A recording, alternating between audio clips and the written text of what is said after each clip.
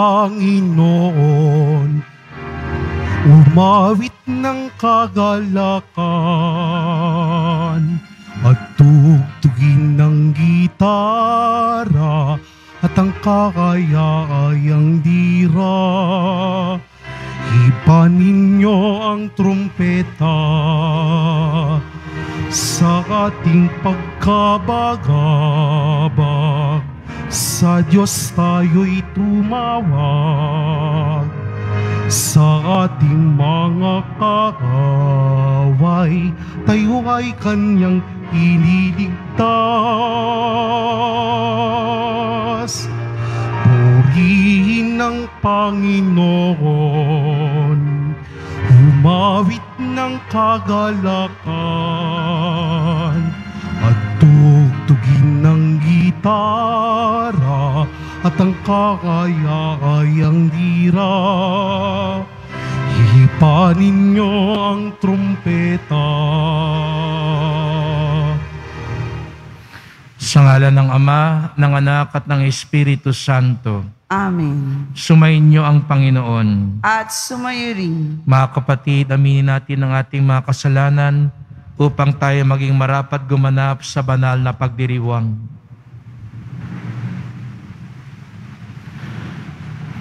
Inaamin ko sa makapangyarihan Diyos. At sa inyong mga kapatid, na lubha ako nagkasala sa isip, sa salita at sa gawa, at sa aking pagkukulang. Kaya isinasamo ko sa mahal na Birheng Maria, sa lahat ng mga anghel at mga banal, at sa inyong mga kapatid, na ako'y panalangin sa Panginoong ating Diyos. Kawan tayo na makapangyarihan Diyos, patawarin tayo sa ating mga kasalanan, at patnubayan tayo sa buhay na walang hanggan. Amen. Panginoon, kawan mo kami. Panginoon, kaawaan mo kami. Kristo, kaawaan mo kami. Kristo, kaawaan mo kami. Panginoon, kaawaan mo kami. Panginoon, kaawaan mo kami. Manalangin tayo.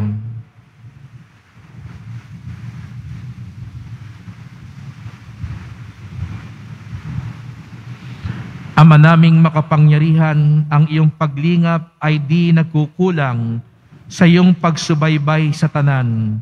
Iniluluhog naming iyong pawiin ang tanang makapipinsala at iyon nawang panatilihin ang pakikinabangan naming walang maliw.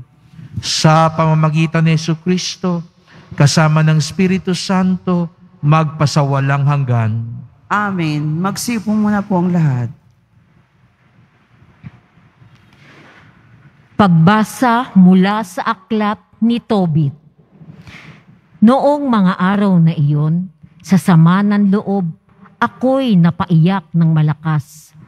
Tumatangis akong nananalangin ng ganito. Ika'y mahabagin at makatarungan.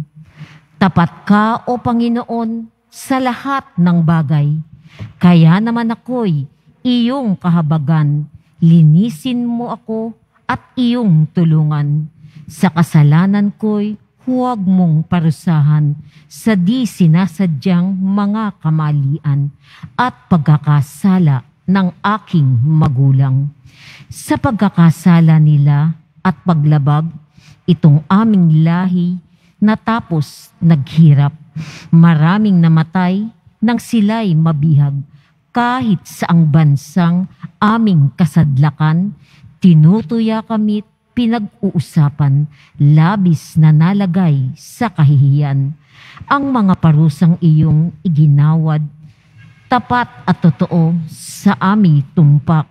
Sa mga magulang nami nararapat, pati na sa aming parusay tumpak, pagkat ang utos mo'y di namin tinupad. Gawin mo sa akin ang iyong maibigan. Pabayaan mo nang makitil ang buhay. Bayaan mong akong mabalik sa lupa.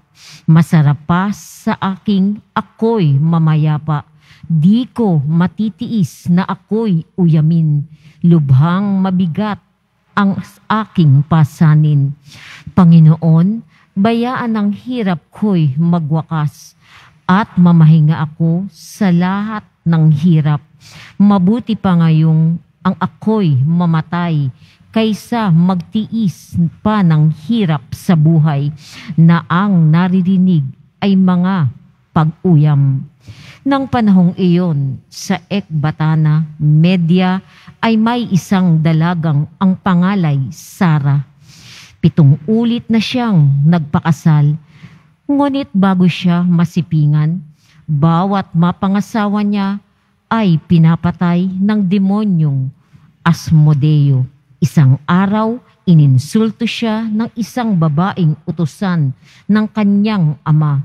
Wika nito, Pihong ikaw ang pumapatay sa iyong mga naging asawa. Tignan mo, pito ang naging asawa mo, ngunit wala ni isang nakapagdulot sa iyo ng kasiyahan. Yan ba ang dahilan kaya mo kami pinagmamalupitan? Mamamatay ng asawa, mabuti pa'y magpakamatay ka na rin. Hindi namin gustong ikaw ay magka-anak pa. Lubhang nalungkot si Sarah ng araw na iyon. Umiiyak siyang umakyat sa silid ng kanyang ama. Nais na niyang magbigti. Ngunit nagbago ang kanyang isip. Hindi. Nasabi niya sa sarili, hahamakin ng mga tao ang tatay ko kapag ako, ito'y ginawa ko. Tiyak na sasabihin nila sa kanyang iisa ang anak mong babaeng nagpakamatay pa dahil sa malas para kung itinulak ang aking ama sa hukay sa sama ng loob. Mabuti pang hilingin ko sa Panginoon na siya na ang kumitil sa aking buhay para hindi na ako tuyain ng mga tao. Kaya't noong di humarap si Sarah sa bintana, itinaas ang mga kamay at nanalangin. Ang dalangin ni Tobit at ni Sarah ay narinig ng Panginoon. Noon di tinugon niya ang kanilang pagluhog. Sinugo niya si Anghel Rafael upang sila'y tulungan. Ang salita ng Diyos. Salamat sa Diyos. Sa'yo ako'y tumatawag, poong Diyos na nagliligtas. Sa'yo'y ako'y tumatawag, poong Diyos na nagliligtas. Sa'yo, O poon, ako'y tumatawag. Ako'y may tiwalang iyong ililigtas. Tubusin mo ako sa kahihiyan upang di magtawa ang aking kaaway. Ang nagtitiwala sa iyo'y di bigo. Ang naghihimagsik ang nasisiphayo. Sa iyo ako'y tumatawag, poong Diyos na nagliligtas. Ang kalooban mo'y ituro, O Diyos, ituro mo sana sa aba mong lingkod. Ayon sa matuwid, ako ay turuan, ituro mo poon ang katotohanan, tagapagligtas ko na inaasahan. Sa iyo ako'y tumatawag, poong Diyos na nagliligtas. Poon, ginitain pag-ibig mong wagas at ang kabutihan noong pa'y nahayag. Pagkat pag-ibig mo'y hindi nagmamaliw, ako sana poon ay alalahanin. Sa iyo ako'y tumatawag, poong Diyos na nagliligtas. Mabuti ang poon at makatarungan sa mga salari, guro at patnubay. Ang mababang loob, siya yaong gabay at nagtuturo ng kanyang kalooban. Sa iyo ako'y tumatawag, poong Diyos na nagliligtas. Magsitayo na po ang lahat.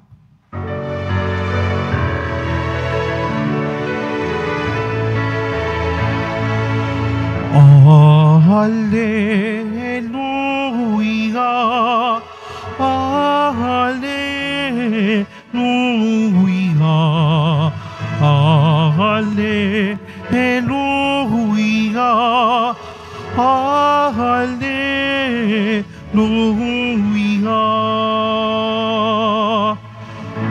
Pagkabuhay ako't buhay, ako'y inyong panaligan nang di mamatay kailanman.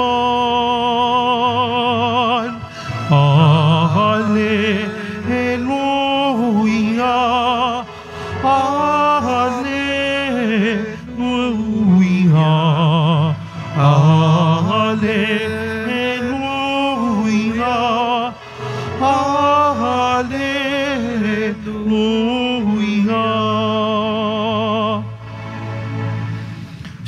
Sumainyo ang Panginoon.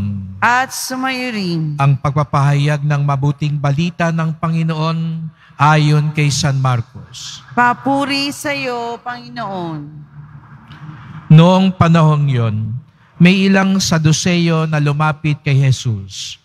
Ang Saduseyo ay naninindigan na hindi muling bubuhayin ng mga patay. Guro anila, naglagda po si Moises ng ganitong batas para sa amin. Kung mamatay ang isang lalaki at maiwang walang anak, ang kanyang asawa, ang kapatid na lalaki, dapat pakasal sa balo upang magkaanak sila para sa namatay. May pitong magkakapatid na lalaki. Nag-asawa ang panganay at namatay na walang anak. Napakasal sa balo ang pangalawa at namatay na wala ring anak. Gayon din ang nangyari sa pangatlo at sa mga susunod pa. Isa-isang napangasawa ng babae ang pitong magkakapatid at sila'y namatay na walang anak. Sa kahuli-hulihay, namatay rin ang babae. Ngayon, sino po sa pito ang kikilanin niyang asawa sa muling pagkabuhay, yamang napangasawa niya silang lahat? Sumagot si Jesus, Maling-mali kayo. Alam ninyo kung bakit? Hindi nyo nababasa ang mga kasulatan ni ang kapangyarihan ng Diyos sapagkat sa muling pagkabuhay ang mga tao'y hindi na mag-aasawa. Sila'y magiging tulad ng mga anghel sa langit. Tungkol naman sa muling pagkabuhay, hindi ba ninyo nababasa sa aklat ni Moises ang tungkol sa nagliliyab na mababang punong kahoy? Ganito ang nasusulat na sinabi ng Diyos kay Moises, Ako ang Diyos ni Abraham, ang Diyos ni Isaac, at ang Diyos ni Jacob. Ngunit ang Diyos ay hindi Diyos ng mga patay, kundi ng mga buhay. Maling-mali kayo.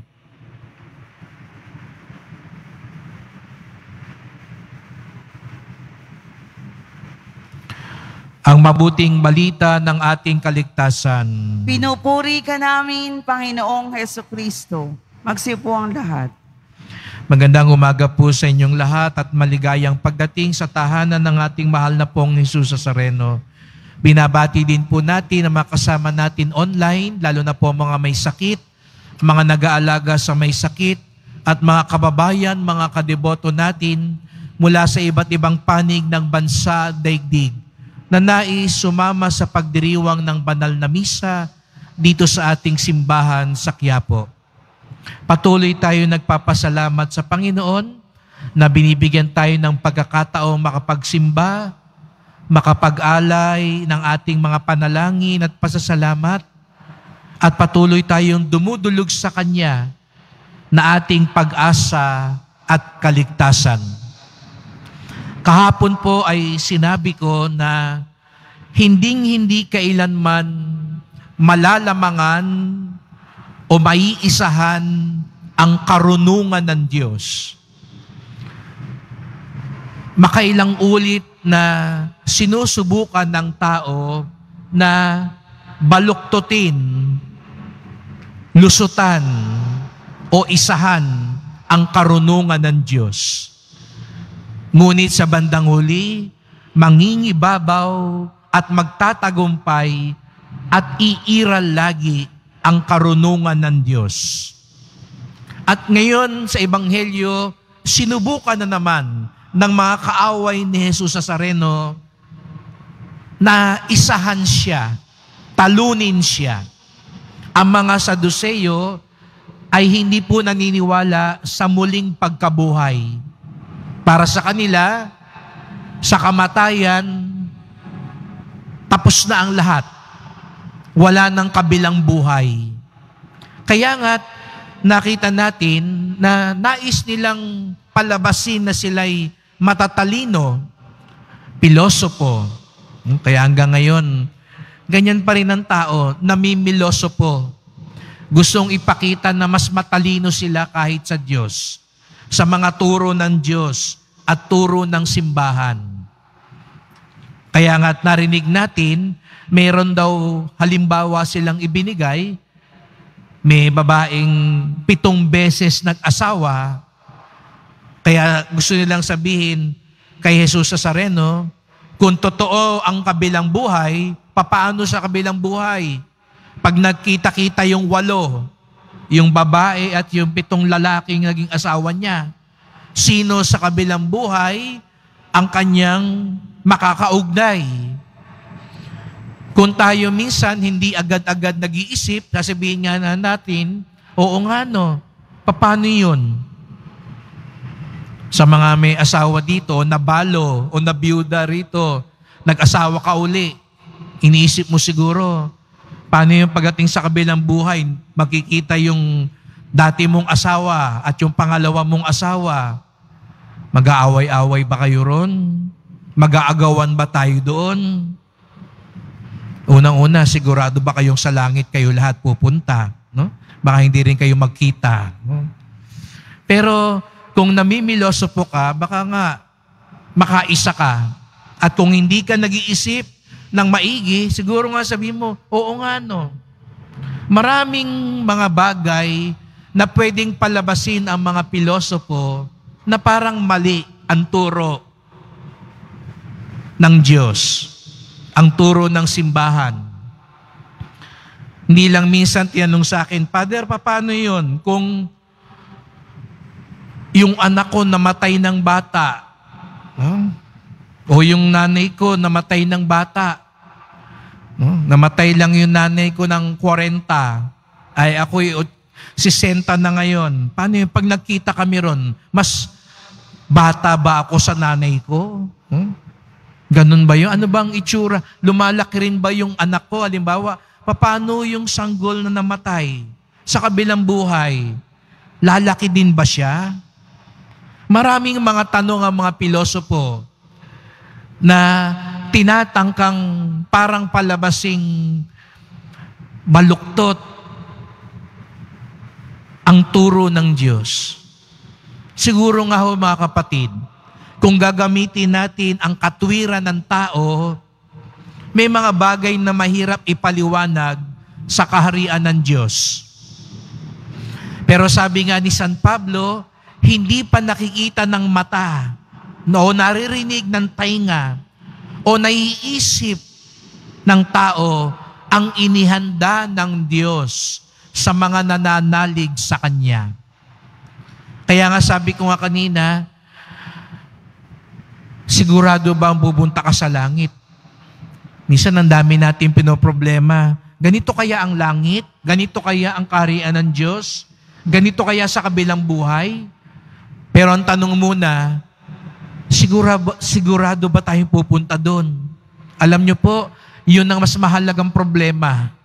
Huwag na natin problemahin ano kakainin sa langit. May beer kaya sa langit? No? Maganda kaya ang higaan sa langit? Magkikita-kita kaya kami sa langit? Huwag na natin aksayahin ang isip natin sa mga tanong na yon. Kasi may mas mahalagang tanong, makararating kaya ako sa langit? Makapapasok kaya ako sa langit? Kasi yun ho ang mas mahalaga. Yun na mas dapat pinagtutuunan natin ng pansin. Kaya nga, naririto tayo kay Jesus sa Sareno. Ipinapahayag natin ang debosyon natin sapagkat naniniwala tayo, katulad niya, hindi dito magtatapos lahat sa lupa. Katulad niya, naghirap dito sa lupa, inusig dito sa mundo. Pero nagpatuloy siya sapagkat naniniwala siya sa buhay na walang hanggan. Naniniwala siya na hindi siya pababayaan ng Ama. Naniniwala siya na ang kaharian niya ang mananaig magpakailanman. At yon ang mas panghawakan natin. Kaya nga sa unang pagbasa, nakita natin si Tobit at si Sarah. Mga taong parang lahat na lang ng kamalasan niranas nila. Lahat na lang ng mga masasaklap na karanasan pinagdaanan nila. At narinig nga natin, natutukso na sila. Kitilin ng sariling buhay. Tapusin nila ang buhay dito sa mundo. Narinig natin, no? Para silang mga sawim palad. At parang binubulong ng demonyo sa kanila, magpakamatay na lang kayo. Wala na kayong pag-asa. Malas kayo dito sa lupa. Pero salamat sa Diyos, si Tobit at si Sarah, nanalangin. Gaya ng ginagawa natin ngayon, nananalangin kay Jesus Nazareno. Masaklap man, mapait man, masakit man ang pinagdaraanan, parang hindi tayo maubos-ubusan ng pagsubok, pero lumalapit tayo ngayon sa Kanya dahil naniniwala tayo hindi man natin makamit lahat ng lunas dito sa mundo, mayroon pa ring buhay na walang hanggan. Nandun pa rin ang kaharian ni Jesus sa Sareno at nananalangin tayong isama niya tayo. Katulad nung magnanakaw na nandun sa Kalbaryo, huwag niyo po kaming kalimutan kapag kayo nasa kaharian niyo na. Kaya huwag tayo mawalan ng pag-asa. Kung mayroon mga yung natutuksong tapusin na lang ang kanilang buhay, sumuko na lang sa buhay, ngayong misang ito, sinasabi sa atin ni Jesus sa Sareno, huwag. Katulad ni Tobit at ni Sarah, patuloy tayong manalangin, patuloy tayong magtiwala, patuloy tayong tumawag sa Kanya, sapagkat ang karunungan ng Diyos ang mananaig. Ang kapangyarihan ng Diyos ang magtatagumpay. Ang buhay ng Diyos ang iiral sa huli. At sana nga, pag dumating ang panahong iyon, kasama tayo sa buhay ng Diyos. Amen. Magsitayo na po ang lahat.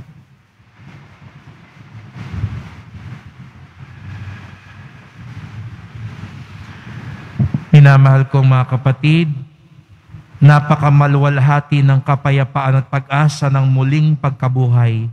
Malaya ang ating mga puso mula sa di makatwirang pag-aalinlangan at pagdududa sapagkat naniniwala tayo sa pangako ng iisang nabuhay na maguli sa walang hanggang kalwalatian.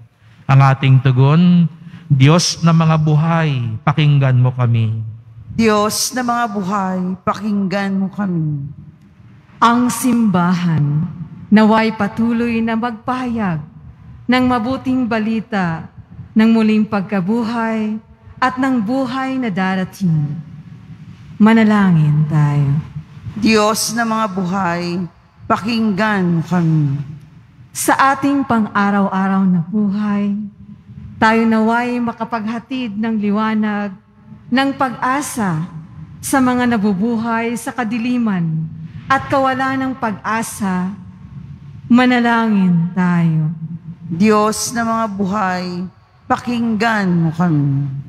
Ang mga Kristiyano, saan man naway, hindi maging mga taong legalismo at mga panlabas na tumutupad sa batas, kundi maging mga taong mayroong pusong ginagawa ang mga nararapat nilang gawin bilang mga anak ng Diyos. Manalangin tayo.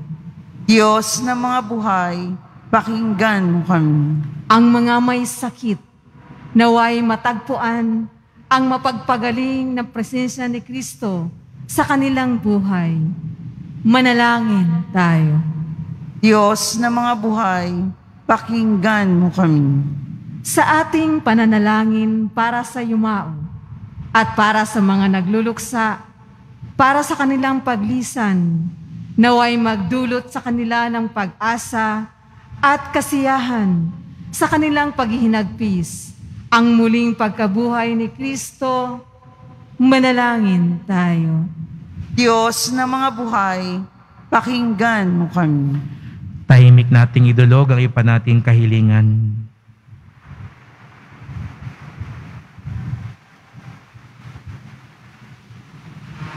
Diyos ni Abraham, Diyos ni Isaac, at Diyos ni Jacob, Diyos ng mga buhay at bukal ng buhay, at ang lahat ng pag-iral, pakinggan mo ang aming mga panalangin na itinataas namin sa iyo sa pamamagitan ni Kristo ng aming Panginoon. Amen. Magsiupo muna ang lahat.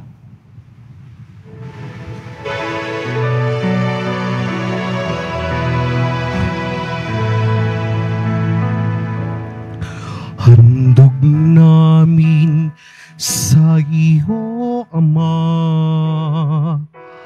ang tinapay at kalak na.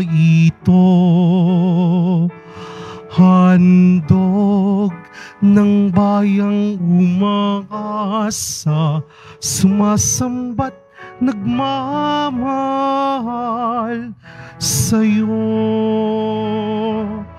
Handog namin sa iyo, Ama, ang tinapay at kalak na ito. Handog ng bayang umaasa, sumasambat nagmamahal sa'yo. Magsitayo na po ang lahat. Manalangin kayo mga kapatid upang ating paghahain ay kalugdan ng Diyos amang makapangyarihan. Tanggapin nawa ng Panginoon itong paghahain sa iyong mga kamay, sa kapurihan niya at karangalan, sa ating kapakinabangan at sa buong sambayanan niyang banal. Ama naming lumika sa iyong katapatan kami nagtitiwala. Ngayong mga alay ay aming inihanda at inihain dito sa banal mong dambana. Sa kagandahang loob mong aming dumadalag, kami naway makaganap ng may malinis na kalooban sa pamamagitan ni Yesu Kristo kasama ng Espiritu Santo magpasawalang hanggan. Amen. Sumainyo ang Panginoon. At sumayo rin, Itaas sa Diyos ang inyong puso at diwa. itinaasa namin sa Panginoon. Pasalamatan natin ang Panginoong atin Diyos. Marapat na siya ay pasalamatan. Ama naming makapangyarihan, tunay ngang marapat na ikaw ay aming pasalamatan sa iyong paglingap at kagandahang loob. Ang tao'y nilikha mo't pinangasiwa sa sansinukob. Sa hangad mong siya'y iwastong lubos, siya'y pinagdusa mo sa kanyang pagtalikod. Sa iyong paghiliw, iyong ipinahintulot na makabalik siya sa pamamagitan ni Kristo Jesus. Kaya kaisa ng mga anghel na nagsisiawit ng papuri sa iyo nang walang humpay sa kalangitan, kami nagbubunyi sa iyong kadakilaan. Santo, Santo, Santo, Panginoong Diyos ng mga hukbo, napupuno ang langit at lupa ng kadakilaan mo, o sana sa kaitaasan. Pinagpalang na paririto sa ngalan ng Panginoon, o sana sa kaitaasan. Magsiluhod po ang lahat. Ama naming banal, ikaw ang bukal ng tanang kabanalan. Kaya't sa pamamagitan ng iyong Espiritu, gawin mong banal ang mga kaloob na ito upang para sa amin maging katawan at dugo ng aming Panginoong Heso Kristo. Bago niya pinagtiis ang kusang loob na maging handog, hinawakan niya ang tinapay, pinasalamatan kanya, pinaghati-hati niya iyon at iniabot sa kanyang mga lagad at sinabi, Tanggapin ninyong lahat ito't kanin. Ito ang aking katawan na ihandog para sa inyo.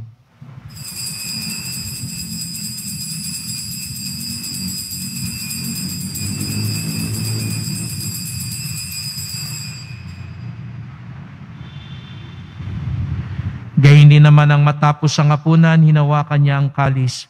Muli kanyang pinasalamatan. Iniabot niya ang kalis sa kanyang mga alagad at sinabi, Tanggapin ninyong lahat ito at inumin. Ito ang kalis ng aking dugo, ng bagot walang hanggang tipan. Ang aking dugo na bubuhos para sa inyo at para sa lahat sa ikapagpapatawad ng mga kasalanan. Gawin niyo ito sa pag-alaala sa akin.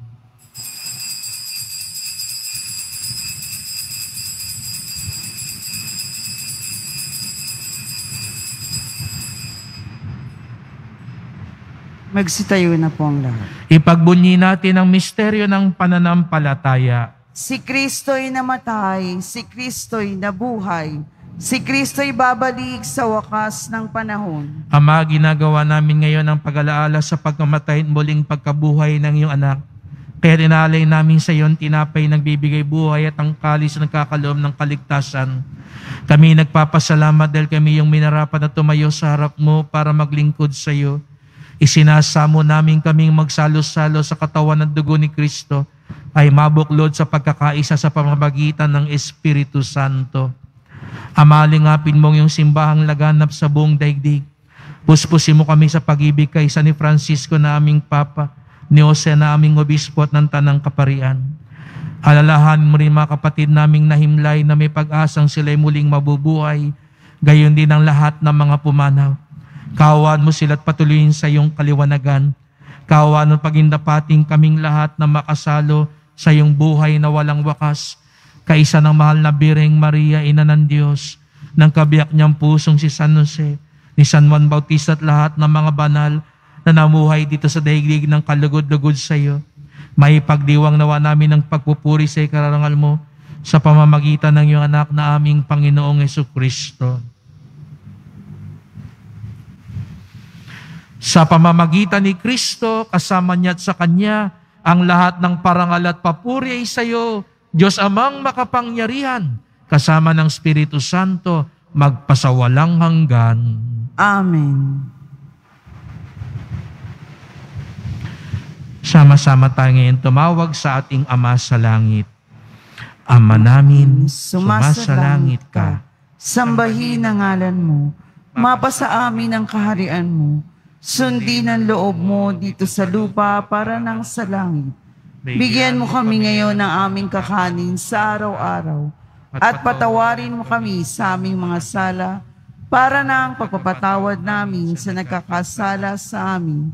At huwag mo kami paintulot sa tukso at iadya mo kami sa lahat ng masama.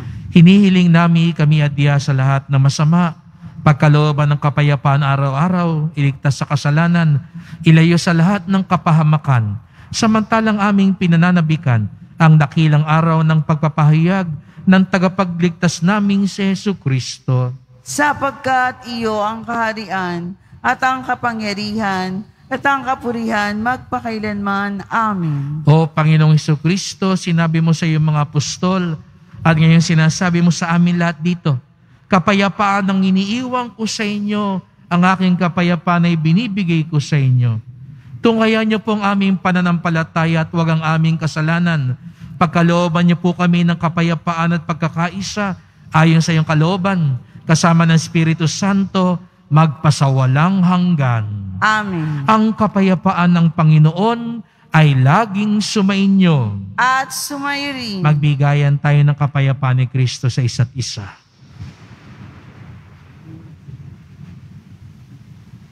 Kordero ng Diyos, nag-aalis ng mga kasalanan ng sanlibutan, maawa ka sa amin. Kordero ng Diyos na nag-aalis ng mga kasalanan ng sanlibutan, maawa ka sa amin. Kordero ng Diyos na nag-aalis sa mga kasalanan ng sanlibutan, ipagkaloob mo sa amin ang kapayapaan. Magsilhod po ang lahat. Narito si Yesu Kristo, ang kordero ng Diyos, nag-aalis ng mga kasalanan ng sanibutan, mapapalad ang inaanyayahan sa kanyang piging. Panginoon, hindi ako rapat-dapat na magpatuloy sa iyo. Ngunit sa isang salita mo lamang ay gagaling na ako.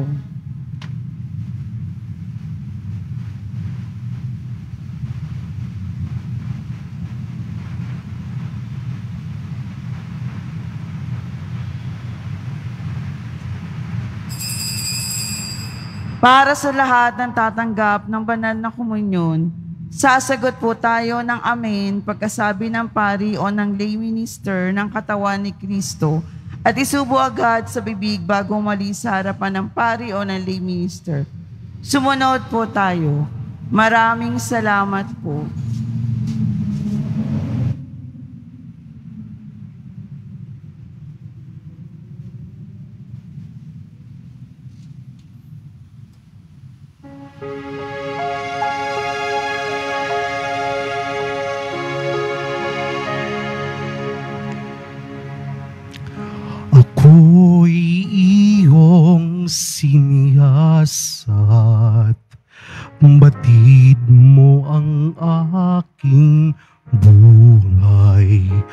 Ang lahat kong lim, Yahweh Ay tiyak mong nalalaman.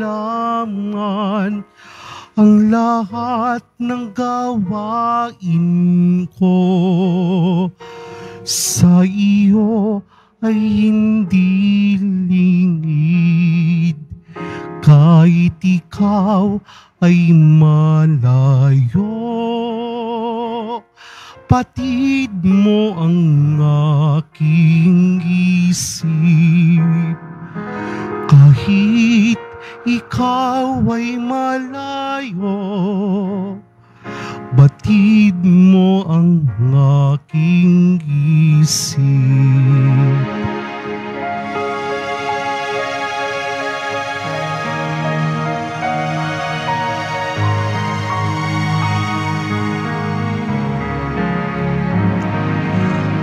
Kung ako'y mapalipad, umiwas na pasilaman, o kaya ang tirahan ko'y duluhan ng kanluran, piyong ikaw ay naroon upang ako'y pangunahan matatagpo kita roon upang ako ay iyong tulungan. Matatagpo kita roon upang ako ay tulungan.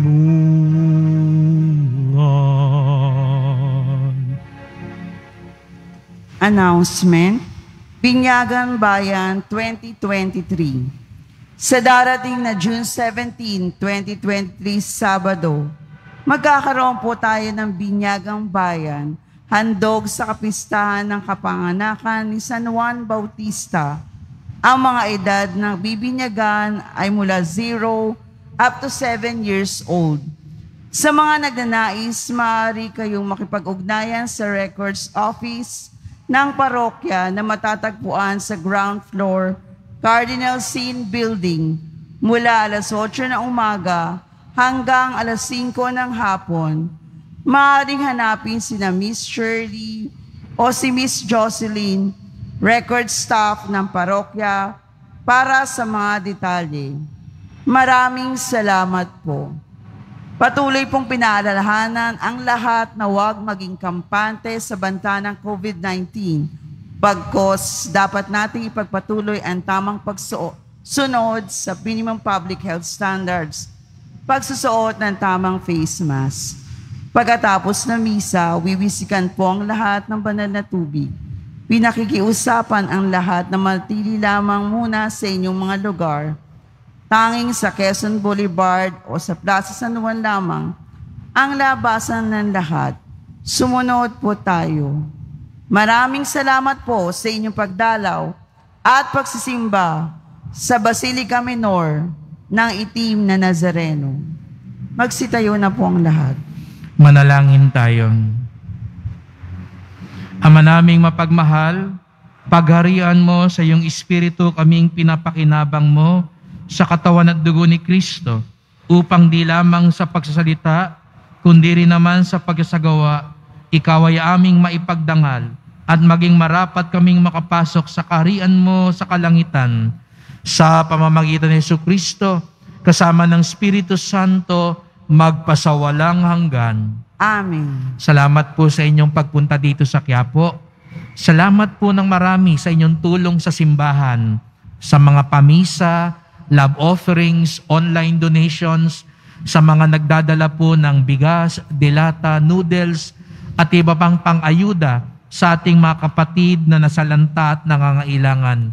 Ang ating debosyon sa poong Nazareno ay nagtuturo sa ating magmalasakit at tumulong sa ating kapwa. Ang karunungan at kapangyarihan ng Diyos ang mananaig sa takdang panahon. Kaya't huwag tayong mawalan ng pag-asa. Manalig tayo lagi kay Jesus Nazareno. Sumainyo ang Panginoon. At sumayo rin. Mahal na pong Jesus Nazareno, inihayag mo sa pamamagitan ng krus ang walang maliw na pag-ibig ng Diyos sa sangkatauhan. Pakinggan mo ang kahilingan ng iyong angka na nagsusumamo sa iyo. Makamtanawa nilang iyong katugunan at tanggapin ng kasagutan ng may utang na loob na tinatanaw. Basbasan din po ninyo ang mga dala nilang mga imahin at dasalan sa pamamagitan ng bendisyon na ito. Naway maalala nila ang mga pangako nila noon sa binyag na ikaw ang kanilang iibigin at paglilingkuran bilang Panginoon magpasawalang hanggan Amen. at pagpalain kayong lahat ng makapangyarihang Diyos, Ama at Anak at Espiritu Santo. Amen. Humayo kayong taglay ang pag-ibig at awa ng poong Jesus Nazareno. Salamat sa Diyos. Nuestro